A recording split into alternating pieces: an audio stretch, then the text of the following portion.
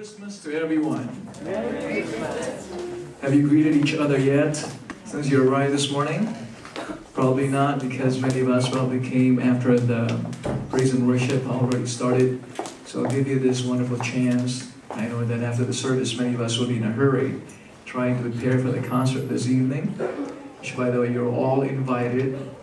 You're all invited to invite other friends of yours as well. Go ahead and turn to the person next to you and give them a wonderful, warm, heartfelt Merry Christmas greeting. Tell them blessed Christmas to you. Oh man, Christmas season makes me really, really feel warm and happy, warm inside.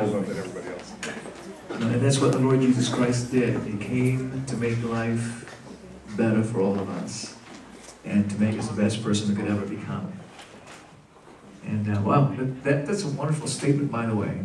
When you know that there's somebody who makes life better for you, or somebody who makes the best out of you, or brings out the best in you. Do you know people like that, by the way? Do you know people who just just brings out the best in you?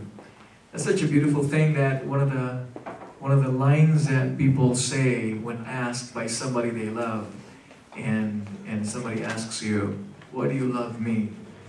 and the person asks and, and you answer, or the person that you ask answers, "It's because you bring out the best in me," or or you make the best out of me. That's beautiful. That's sweet, right? Uh, however, we could also, if that's that's that's the sweetest thing you could probably ever hear, one of the sweetest things or answers you could hear. Um, I know that there are also people in our lives who who try our patience. You know, they um, they want to make you want to give up. And um, when asked, probably somebody would say to you, probably one of the most shocking things that you could hear somebody tell you is that you bring up the worst in me. You probably have been told that before by your husband, your spouse, your friend, or whatever. But that's a shocking thing to hear. Probably very insulting to hear as well. Or worse than that is when somebody tells you, you bring out the devil out of me. And by the way, there are people in the church who does that to us, right?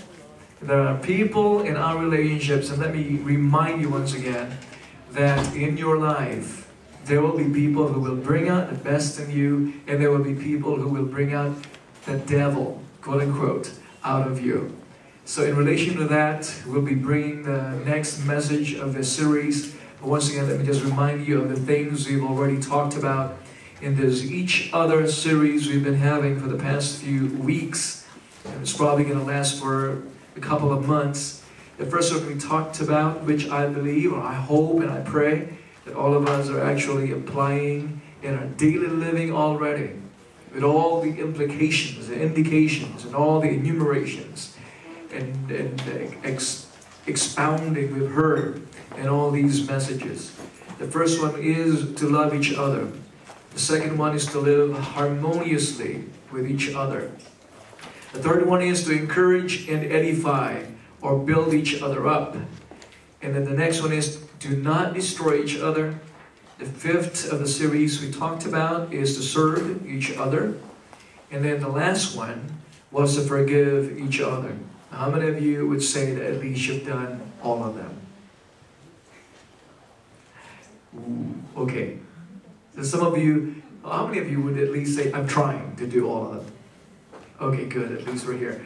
And if some of you have um, actually like um, forgotten um, the, the, the, the, things that we talked about, I want you to go to the website. I'll be posting them there. So we'll keep on reminding you of the things that we talked about. But today, we'll be going to the next one, and that's uh, message number seven in this Each Other series, and that is bear each other, or bear with each other, however we prefer it. And again, the thing that I'd like to just mention to you is that bearing each other strengthens, grows, and builds our relationships. Context again is the church, but um, it will, I believe, apply to all other areas of relationships you may have friendship, marriage, uh, corporate, whatever it may be, okay, or in school or education, academics. So just go ahead and, and uh, bear with me as we go along in discussing this bear with each other message this morning. key text that we have is Ephesians chapter 4, verse 2, and then Colossians 3, 13. And you don't need to stand with me. These are only two verses. But you please go ahead and read it along together with each other. Ephesians 4, verse 2 says, Be completely humble and gentle. Everybody? It's not there? Let me read it to you. Okay. Ephesians 4, 2 says, Be completely humble and gentle. Be patient, bearing with one another in love. Colossians 3.13 says, Bear with each other and forgive whatever grievances you may have against one another. Forgive as the Lord forgave you. So you, uh, you see two of the statements there in those two verses, bearing with one another in love, and then Colossians 3.13, bear with each other and forgive whatever grievances you may have against one another. So the things that we notice in all these verses, at least, I'm going to point out, there's a lot of them, but I'm going to point out three major things to you. The first one is bearing with each other, okay, is, um, has something to do with if you've heard of the expression, if you've been asked before, how are you holding up? How are you holding up? That's the meaning of that word in the original rendition of it. How are you holding up? And we answer, I'm okay, I'm doing well. Let me just say, um, I'm, I'm persevering, I'm bearing life. And many times it has to do with situations in life. But bearing with each other has to do with relationships with other people. So when we talk about bearing with each other, it has something to do with bearing with the personality, bearing with the attitude, bearing with the dealings and treatments of each other, of the person to you. Okay, so that is the context of this. So the first one that is a necessary thing for us to bear with each other is mentioned in Ephesians chapter 4, verse 2. Be completely humble. It will take humility for us to bear with each other because we need humility to learn. We need to continually learn. There are those people placed in your lives, by the way, for by God, by God's design, to be Lord I mean, to be teachers over your life, to be your disciples. And it takes humility for you to be able to bear those people. That's why there are office gifts in the church apostles, prophets, evangelists, pastors, teachers. And specifically the pastors and the teachers, the things, one of the things they do is for them to teach you, for them to pastor you. And as a pastor, he needs to guide you, administer things, administer things over your life. Aside from that, not only the office uh, gifts that God has given to the church, all of us as believers in Christ were told and commissioned by God. Well, in fact, one of the greatest indicators I know that a person is not really saved or not really born again or does not have a relationship with the Lord Jesus Christ is because of the fact that many of them are living their lives daily without being a discipler. So all of us are called by God to be disciple, and then later on, eventually, to be a disciple as well. So being a disciple, not talking about office gifts of pastors and teachers alone. All of us were called by God to be disciple. That means to say, a disciple is a disciplined learner. Meaning to say, if you are a disciplined learner, there's got to be a disciplined teacher that God is going to put over your life. And who is that? Everybody could be a potential teacher over the life of each one of us because all of us were called to be disciples. So, and all of us are called to be disciples as well. Okay? Now, I know much as we feel better, by the way, when we learn things by ourselves, when nobody's teaching us, somehow there will be times and moments in our lives that it will take humility because there will be moments when we will have to learn from other people. And the reason being is because of the fact that we are not always conscientious of learning. Isn't that true? Somehow, sometimes, we got to be told what to do by other people many times, or sometimes at least, we don't have initiative. We are not conscientious about things that happen around us. It may take a third party for us to be encouraged. Some of us sometimes feel like, feel lazy about learning, or some of us feel complacent about our lives. Some of us feel comfortable living a life in error, or probably we know the truth. There's the deal, guys. Sometimes we know the truth. Well, in fact, I know of some teachers in the church, and even in this church, who could teach well, share well, guide well, advise other people well, but when they're subjected to the certain situation that they're advising people about, then we are not reacting based on the knowledge we have learned. And sorry to say, and sad to say, in our church and in many churches, we have gotten, some of us have gotten comfortable in just teaching other people what's needed to be done. But when we are subjected to it, we are not even affected by the things that we do that may not be really what Christians ought to do. That's the reason why somebody ought to come along and tell us the things that we need to do. Are you doing your devotions daily? That we would rather find that out ourselves and discipline ourselves and, and say, I am, and I'm doing my devotions daily. But sometimes we feel complacent and we feel comfortable not doing the Christian discipline. We're not praying as we ought to. We're not reading our Bibles as we ought to. We're not doing quiet time as we ought to.